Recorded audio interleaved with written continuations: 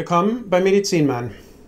Ziel Selina Gomez und mehr als 5 Millionen Menschen weltweit verbindet eines. All sie leiden an Lupus. Doch was genau läuft schief im Körper eines Menschen mit dieser Krankheit? Ich bin Christian, Arzt und Rheumatologe und lade euch ein, hier jetzt mehr zu erfahren, was bei Menschen mit dieser mysteriösen Krankheit geschieht.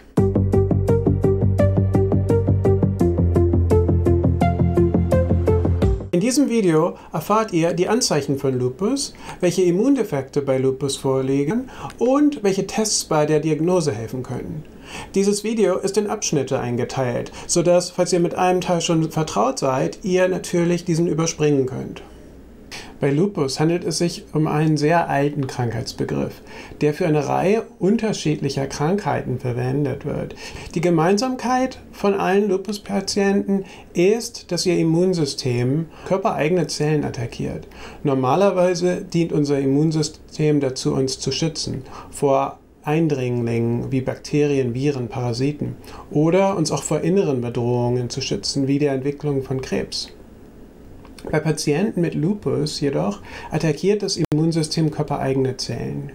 Wenn das in einem bestimmten Muster geschieht, ist es dann etwas, was für uns als Ärzte die typische Erscheinung von Lupus hat. Aber es ist wichtig zu verstehen, dass Patienten mit Lupus grundlegend unterschiedlich sind. Die Anzeichen von Lupus. Wenn wir von Lupus sprechen, meinen wir zumeist den sogenannten systemischen Lupus. Das bedarf einer Erklärung. Systemisch bedeutet, dass eine Erkrankung grundsätzlich im gesamten Körper auftreten kann. Das Immunsystem ist im ganzen Körper aktiv und so kann es natürlich auch im gesamten Körper zu Problemen durch Lupus kommen. Häufige Betroffene Organe sind hier in der Grafik aufgeführt. Die berühmteste, vielleicht klassischste Manifestation ist in Form des sogenannten Schmetterlingserythems. Ein Charakteristikum dieses Hautausschlags ist, dass die sogenannten Nasolabialfalten nicht davon betroffen sind. Ähm, Nasolabialfalten sind hier unten links abgebildet und das hilft, diese Art des Hautausschlags von anderen Formen zu unterscheiden, wie beispielsweise Rosacea, was diese Falte ähm, mit einschließt. Es gibt weitere Formen von Hautmanifestationen von Lupus. Eine wichtige davon ist auch so der sogenannte Discoide Lupus. Das ist auch die Form von Lupus, an der Ziel leidet. Das Charakteristische davon ist, dass diese Entzündung hinterher Vernarbungen hinterlässt. Die Beteiligung der Nieren ist eine schwere Komplikation und war in früheren Zeiten häufig eine Todesursache in Lupus. Gott sei Dank hat sich das mit der Verfügbarkeit von Nierenersatztherapien unheimlich gebessert. Hier ist das Foto, das Selena Gomez bei Instagram gepostet hatte, als sie eine Nierentransplantation bekommen hat. Und eine Nierentransplantation ist eine sehr gute Therapie in dem Fall. Es ist erstaunlicherweise sehr selten, dass Lupus die transplantierte Niere wieder betrifft. Ähm, ganz im Gegenteil, oft führt die Transplantation einer Niere dazu, dass Lupus auch die in den anderen Organen oftmals vollständig zum Stillstand kommt. Ein Teil davon ist sicher, dass eine Nierentransplantation auch die Gabe von Immunsuppressiva bedeutet. Die helfen natürlich, die Manifestation von Lupus zu kontrollieren. Aber offenbar ist auch die Transplantation an sich sehr hilfreich. Gelenksbeteiligung bei Lupus ist häufig verbunden mit Schmerzen und Schwellungen in den Händen und Knien, typischerweise in den Morgenstunden, die dann sich im Laufe des Tages bessert. Eine Langzeitfolge ist auch die sogenannte Charcot-Arthropathie. Das Charakteristische hier ist, dass das eigentliche Gelenk sehr wenig Schaden hat, dass diese Deformation vor allem zustande kommt durch Veränderungen der Sehnen und Bänder und dadurch mit leichtem Druck sehr einfach in die richtige Position wieder versetzt werden kann, was es zum Beispiel von rheumatoider Arthritis unterscheidet. Häufig und auch sehr schmerzhaft kann die Beteiligung der Schleimhaut sein. Schleimhäute sind generell ein Bereich, wo das Immunsystem sehr aktiv sein muss, weil es sich hier quasi um eine Körperoberfläche handelt. Und so ist es leider so, dass oft bei Schüben von Lupus die Schleimhäute besonders schmerzhaft werden können und diese Ulzerationen, also Wunden oftmals bilden. Linderung bietet da lokale Anästhetika oder Cortison-ähnliche Salben, äh, die dort helfen können. In manchen Patienten kommt es darüber hinaus auch zu einer Gerinnungsneigung, einem sogenannten Antiphospholipid-Syndrom, was mit der Bildung von Blutgerinnseln einhergehen kann, die dann oftmals mit Gerinnungshämmern behandelt werden müssen. Ein weiteres Video zu Blutgerinnseln ist hier oben verlinkt. Glücklicherweise wurden in den letzten Jahren doch große Fortschritte in dem Verständnis erzielt. Und was klar wird, ist, dass ganz unterschiedliche Bereiche des Immunsystems gestört sein können zu Beginn und dass es dann im Laufe der Zeit zu Störungen in mehr und mehr anderen Bereichen des Immunsystems kommt. Am Ende kommt es zum Verlust der sogenannten Toleranz gegen körpereigene Eiweiße. Normalerweise lösen körpereigene Eiweiße keine Immunreaktion aus. Bei Lupus kommt es aber doch dazu, weil die Regulationsmechanismen, die das verhindern sollen, nicht richtig funktionieren. Wenn ihr mehr darüber lernen wollt, im Video über Coronavirus ist besprochen, wie es zur Bildung von Antikörpern kommt. Paradoxerweise ist in manchen Fällen eine Immunschwäche der Auslöser von Lupus. Wenn in manchen Bereichen des Immunsystems eine Schwäche vorliegt, kann es dadurch zur Überstimulierung von anderen Bereichen kommen und das führt dann offenbar in manchen Fällen auch zu Lupus. Es scheint bei Patienten mit Lupus auch sehr vermehrt zu Problemen bei der Entsorgung von sterbenden Zellen zu kommen. Normalerweise ist diese sehr genau reguliert, sodass wenn eine Zelle abstirbt, dass es dann zu einer sehr fachgerechten Entsorgung von einem Zellmaterial kommt. Da scheint es bei Lupus große Probleme zu geben und das erklärt zum Teil auch, dass auch UV-Strahlung, also ein Sonnenbrand, in vielen Fällen einen Lupusschub auslösen kann. Wenn ein Patient, eine Patientin sich der Sonne aussetzt und in vermehrtem Ausmaß Hautzellen absterben, wird natürlich viel genetisches Material freigesetzt. Und das kann bei so einem prädisponierten Patienten oft in einem Lupusschub münden. Aus diesem Grund ist es sehr wichtig, adäquaten UV-Schutz zu haben. Lupus scheint auch über sehr lange Zeiträume sich zu entwickeln, sodass man schon viele Jahre bevor Symptome auftauchen, die ersten Anzeichen von Lupus im Blut vieler Patienten erkennen kann. Wenn es bei Kindern schon auftritt, dann ist es häufig in einer sehr schweren Form. Was bei der Diagnose von Lupus sehr hilft, ist diese Tatsache, dass am Ende es zu einer Bildung von Antikörpern gegen bestimmte Eiweiße kommt. Das ist für den Diagnostiker sehr hilfreich, weil man diese Antikörper messen kann und das in bestimmten Fällen auch in der Diagnose im richtigen Patienten sehr hilfreich ist. Bei etwa der Hälfte von Lupus-Patienten kommt es zu Erhöhungen von bestimmten Botenstoffen und zwar den sogenannten Interferonen. Der Sinn von Interferonen ist normalerweise die Verteidigung gegen Viren. Also das ist auch so ein Signalmechanismus. Eine virusinfizierte Zelle wird in vermehrtem Ausmaß diese Interferone freisetzen.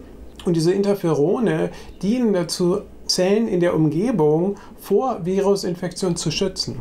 Also die umgebenden Zellen werden dann auch eine Art antivirales Programm initiieren oder sollten sie schon in virusinfiziert sein, auch in den geregelten Zelltod übergehen, einfach um die Ausbreitung von Viren einzudämmen. Für das gesunde Immunsystem sind diese Interferone also sehr wichtig in der Verteidigung gegen Viren.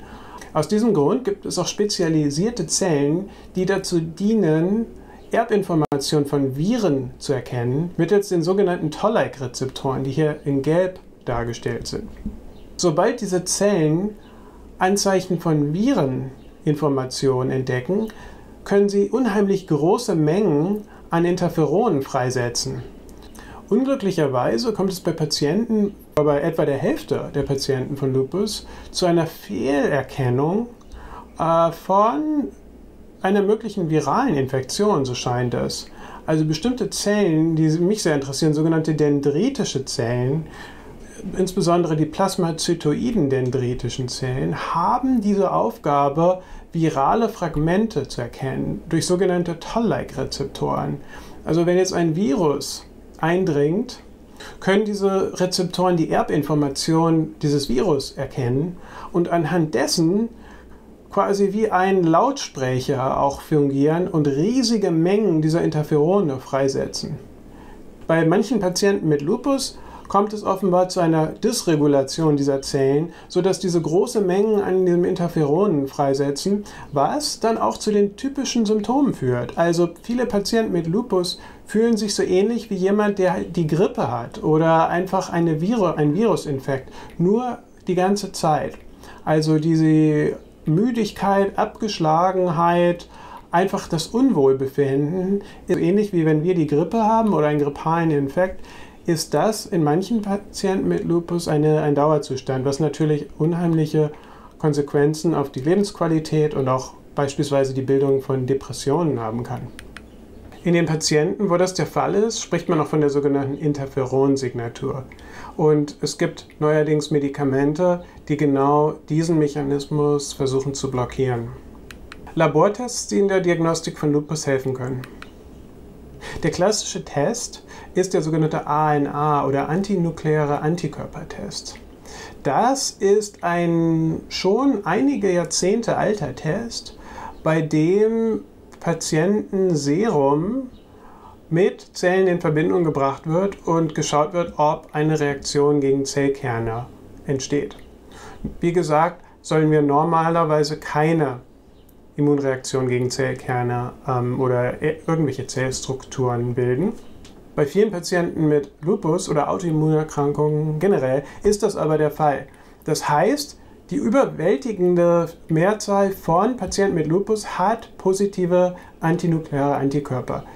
Und das ist Art Screening-Test. Also man schaut nur, ob irgendwelche Antikörper gegen Zellkerne überhaupt vorhanden sind.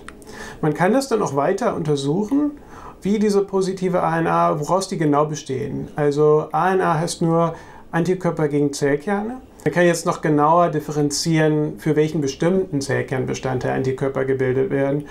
Die haben dann nochmal andere Namen, zum Beispiel auch gegen doppelsträhnige DNA oder andere Antikörper. Das kann eine gewisse Aussagekraft auch über den Verlauf oder die Prognose von Lupus haben. Was wichtig zu verstehen ist, ist aber, dass ein positiver ANA-Test sehr häufig ist. Die überwältigende Mehrzahl von Personen mit positiven ANA-Test hat keinen Lupus. Eine Diagnose von Lupus wird also immer gestellt aus, anhand der Symptome, der klinischen Symptome und der Blutdiagnostik. Oftmals kommt das sehr stark zu Verwirrung und auch viele Ärzte sind damit nicht so vertraut. Also wir bekommen sehr häufig äh, die Frage, positiver ANA-Test, hat dieser Patient Lupus? Und es kommt ganz darauf an, wie, welche Symptome dieser Patient hat.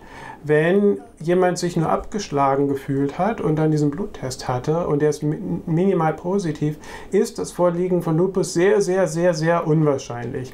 Also der Bluttest hat durchaus Sinn, aber nur in dem Zusammenhang, dass wirklich auch Symptome von Lupus vorliegen. Andere Ursachen für einen positiven ANA-Test sind auch nur manche Medikamente, Alter, also beispielsweise 10 bis 15 Prozent der Bevölkerung haben positive ANA, ohne Vorliegen von Lupus oder einer anderen Autoimmunerkrankung. Andere Formen von Lupus seien noch ganz kurz erwähnt. Es gibt noch den medikamenteninduzierten Lupus. Das bedeutet, dass auch bestimmte Medikamente Lupus-ähnliche Anzeichen auslösen können. Manchmal kann ein bestimmter Antikörper, ähm, sogenannte Antihiston-Antikörper, äh, Hinweise darauf geben. Das ist aber oft schwer zu beweisen. Aber typischerweise verschwindet dieser medikamenteninduzierte Lupus mit dem Absetzen der jeweiligen Medikation. Auch neugeborenen Lupus sei nur kurz erwähnt.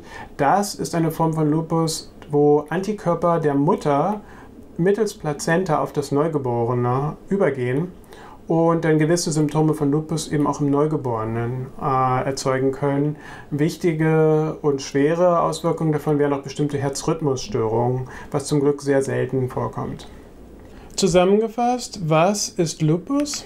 Lupus ist eine Erkrankung des Immunsystems mit vielen möglichen Anzeichen, klassischerweise ausgelöst durch den Verlust von Toleranz und Bildung unter anderem von Antikörpern gegen körpereigene Proteine und in manchen Patienten auch ähm, so quasi wie ein Fehlalarm, also der Freisetzung von Interferonen, die der Virenabwehr dienen, aber gar keine Viren da sind, was dann zu eher so grippeähnlichen Symptomen auch führen kann in diesen Patienten. Ganz typisches, klassisches Anzeichen ist dieses sogenannte Schmetterlingserythem. Schwere Fälle von Lupus können sich als Nierenversagen auch äußern. Ein typischer Labortest für solche Patienten mit Lupus ist das Vorhandensein von antinuklearen Antikörpern. Aber ich will nochmal betonen, dass das bloße Vorhandensein dieser Antikörper an sich kein Grund zur Beunruhigung ist, da sehr viele Personen diese haben ähm, ohne Lupus zu haben. Lupus ist eine sehr unterschiedlich verlaufende Krankheit, dadurch, dass es eben so viele unterschiedliche genetische Ursachen haben kann. Aber die meisten Fälle sind Gott sei Dank sehr mild. Die für jeden ist sehr stark zu empfehlen, gerade für Patienten mit Lupus, ein gesunder Lebensstil und die Vermeidung von UV-Licht. Für den Fall, dass ihr euch Sorgen um eure Gesundheit macht, Zögert nicht, einen Arzt eures Vertrauens aufzusuchen. Ich verlinke euch hier ein Video, wie ihr einen guten Arzt finden könnt. Wenn euch Lupus aus Patientensicht noch mehr interessiert, verlinke ich euch auch ein Video von Selina Gomez, wo sie von ihren Erfahrungen als Lupus-Patientin drin berichtet. Wenn euch Themen wie diese interessieren, abonniert jetzt meinen Kanal, damit wir uns bald wiedersehen. Macht's gut und bis zum nächsten Mal. Euer Medizinmann.